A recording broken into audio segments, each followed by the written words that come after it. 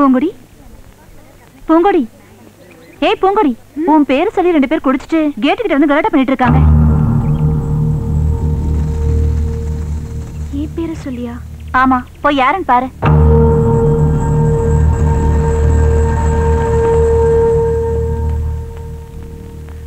Date date ஒரு of அளவு இருந்துகிட்டு குவார்டர் போதுன்னு சொன்னேன். ஒன்றரை ஃபுல் ஆச்சு. செடியா நிக்கிற? ஒன்றரை இல்ல.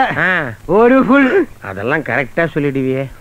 நாங்கெல்லாம் டெட் பாடியா இருந்து. பல பிரச்சனையை சந்திச்சு. சால்வ் பண்ணியிருக்கோம். அதை விட. மாப்பிள்ளைக்கும். அந்த பொண்ணுக்கும் இருக்கிற பிரச்சனைய எப்படி நான் சால்வ் பண்றேன்னு நீ வேடிக்கை மட்டும் பாரு. மற்றதெல்லாம் நான் பாத்துக்கிறேன். இதுதான் அந்த பொண்ணு. நீயா? நீங்களாம் நல்லவங்க கூட சேர மாட்டீங்களாடா? என்ன டாடி பின்னாடி இந்த பொண்ணு ஏற்கனவே எனக்கு தெரியும். கோடி கொடுத்தா விட நான் பேச மாட்டேன். பேச? மாட்டேன். ஜான், பாரத சந்திப்போம் எங்க வந்த? இங்க எதுக்கு வந்த? அதான் அன்னைக்கே கணேஷ் மனசுல நான் இல்லன்றத கண்ணாமினல் பேசி தீர்த்துட்டான்ல. இன்னும் என்ன இருக்கு பேசுறதுக்கு? என் காலேஜுக்கு வந்து குடிச்சு கலாட்டா பண்ணி என் மானத்தை வாங்கிட்டு இருக்கீங்க. குடிச்சதுனாலதான் நாங்க குட்டிச்சோறு ஆயிட்டோம்னு மொத்த ஊர் ஏன் என் பெத்த தாயே சொல்லியிருக்காங்க.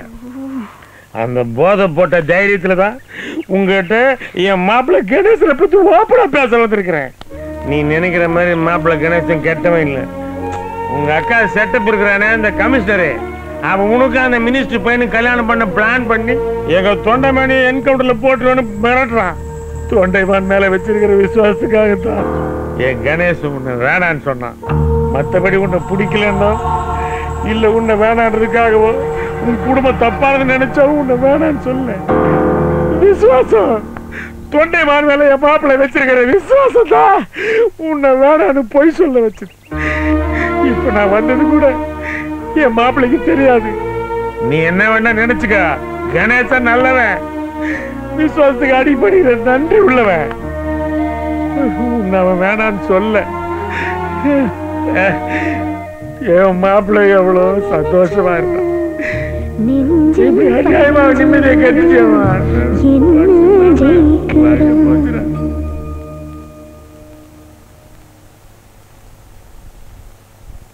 தம்பி கமிஷனர் சொன்னதை வச்சு பார்த்தா எனக்கு என்னமோ கணேசன் மேல சந்தேகமாவே இருக்கு. அண்ணா நான் வேணா கணேசனை பத்தி விசாரிக்கட்டுமாண்ணே? நீங்க சரின்னு சொல்லுங்கண்ணே. கணேசனை தூக்கிறோம் மூணு ஒரு வார்த்தை சொல்லுங்கண்ணே. கணேசனை உண்டலன்னு பண்ணிடுறேண்ணே. அண்ணே கணேசனோட அம்மா பாட்டி வந்துட்டு இருக்காங்கண்ணே வாங்க. வணக்கம்ப்பா வாங்கம்மா. வணக்கம் தம்பி. உட்கார் நீங்க உட்காரு நீங்க உட்காரு பரவாயில்ல. என்ன திடீர்னு? நல்ல விஷயமா பேச வந்திருக்கோம். மருமகளும் இருந்தா நல்லா இருக்கும். டேய் அண்ணி வர சொல்லு. சரிண்ணே.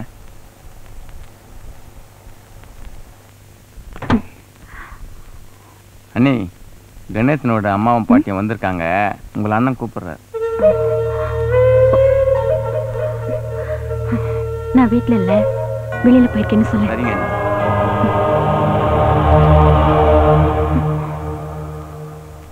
அண்ணே அண்ணி வெளியில ஓஹோ ஆமாம்மா அவ கடைக்கு இல்ல கோயிலுக்கு போயிருக்கா. நல்ல விஷயமா தானே பேச வந்திருக்கீங்க. நீங்க சொல்லுங்க. ஒன்றும் இல்லை தம்பி உன் தம்பி கணேசன் பூங்கொடிங்கிற ஒரு பொண்ணை நேசிக்கிறான். அந்த பொண்ணும் இவனை நேசிக்குது. நம்ம வீட்டுக்கும் அந்த பொண்ணு வந்திருக்குப்பா. எங்க எல்லாத்துக்கும் அவளை ரொம்ப பிடிச்சு போச்சு. நீயும் மருமகளும் அந்த பொண்ணை பார்த்து கல்யாணத்துக்கு ஒரு முடிவு பண்ணீங்கன்னா நல்லா இருக்கும் அதை பத்தி தான் இங்க பேச வந்தோம்.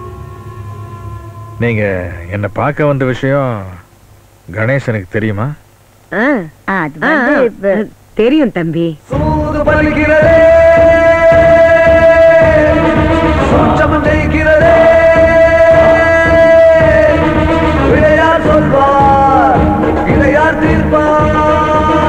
அப்ப நாங்க கிளம்புறோம்ப்பா. வரோம்ப்பா. வாங்கம்மா. வாங்கம்மா. கணேசன் இந்த பொண்ணு விரும்புறது உண்மையா இருந்தா இந்த கல்யாணம் நடக்கும். நானே நடத்தி வைக்கிறேன். என் மருமகிட்டே ஒரு வார்த்தை நான் சொல்லி சொல்லிக்கிறேன். நாங்க வரோம். வாங்க வரோம். நாம இங்க வந்தது கணேசனுக்கு தெரியாதுல்ல? அப்புறம் ஏன் தெரியும் போய் சொன்னேன் சும்மா இருமா. ஒரு கல்யாணம் நடக்கணும்னா ஒரு பொய் சொல்றதுல தப்பே இல்ல. அதுவும் இல்லாம இந்த விஷயம் நம்ம கணேஷனுக்கு தெரியாது. பேசாம வா. தம்பி இந்த கணேசனுக்கும் அந்த பகவானுக்கு என்ன வித்தியாசம்னு எனக்கு தெரியல தம்பி. உனக்கு ஏதாவது ஒண்ணுன்னா அந்த கணேசன் குடும்பத்துல ஒருத்தரை விடாம வெட்டி சாச்சு விடுவேன்.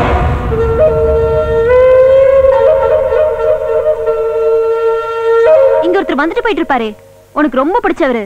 அதான் உன் புருஷன். அவருக்கு என்ன ரைட்ஸ் இருக்கு லைஃப் பத்தி டிசைட் பண்றதுக்கு? அவர் என்ன டிசைட் பண்ணாரு? இப்போ நீ இப்படி தாம் தம் குதிச்சிட்டு இருக்க? கேப்ப. நீ இதுவும் கேப்ப? இதுக்கு மேலையும் கேப்ப. உனக்கு என்ன தெரியும் அவரை பத்தி? எனக்கு ரொம்ப பிடிச்ச என் கணேசனை. என்கிட்ட இருந்து பிரிச்சு.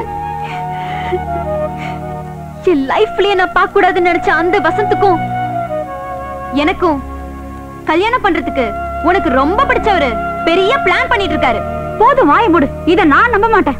அக்கா நீங்க நம்பித்தான் ஆகணும் டார்லிங் என்னங்க? நீங்களா இப்படி பேசுறீங்க? நான் இப்படியும் பேசுவேன் அப்படியும் பேசுவேன். எப்படி வேணாலும் பேசுவேன். ஏன்? ஏன் இந்த விவாதம்? நீ ஒரு தங்கத்தாரகை. உனக்கு தெரிஞ்சதெல்லாம் திங்கிறதும் தூங்குறதும் மட்டும்தான். வெளி உலகத்தை பத்தி உனக்கு ஏதாவது தெரியுமா? வெளி உலகத்தை பத்தி உனக்கு தெரியுமா? இதே மாதிரியே என் லைஃப சேலத்திலேயே கமிஷனரா கன்னியூ பண்ணேன்னு வை. அழுகி போன மாங்கொட்ட மாதிரி ஆயிடுவேன். ரெண்டு பேரும் தொட்டு நக்கறதுக்கு ஊருகா கூட எல்லாம் போயிடும் இப்ப நம்ம எங்க இருக்கோம்? இப்ப நம்ம எங்க இருக்கோம்? நம்ம வீட்ல ஆரஞ்சனம். சென்னை சிட்டில இப்ப நான் தான் சிட்டிக்கே கமிஷனர். அந்த மெரினா கடற்கரை ஓரமா உட்கார்ந்து கரன்சி நோட்டுகளை நான் கவுண்ட் பண்ணிட்டு இருக்கேன். நீ எங்கம்மா இருக்க? தெரியலங்க. தெரிஞ்சுக்க. ஒரு பெரிய பேலஸ் பங்களாவுல அந்த ஊஞ்சல்ல உட்கார்ந்துகிட்டு பீங்கான் பிளேட்ல பீஸாவை பீஸ் பீஸா தின்னுகிட்டு இருக்க. அவ எங்க இருக்கா தெரியுமா? அப்ராட் வசந்துக்கு அவளுக்கும் கல்யாணம் ஆகி ரெண்டு பேரும் ஜாலியா ஹனிமூன் போயிருக்காங்க. எவ்வளவு சந்தோஷமா இருக்கு பாத்தியா?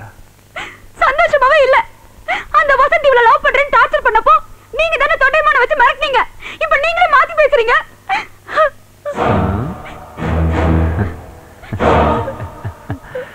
லூசு லூசு. நேத்து நான் இட்லி சாப்பிட்டேன். இன்னைக்கு புரோட்டா சாப்பிட்டேன்.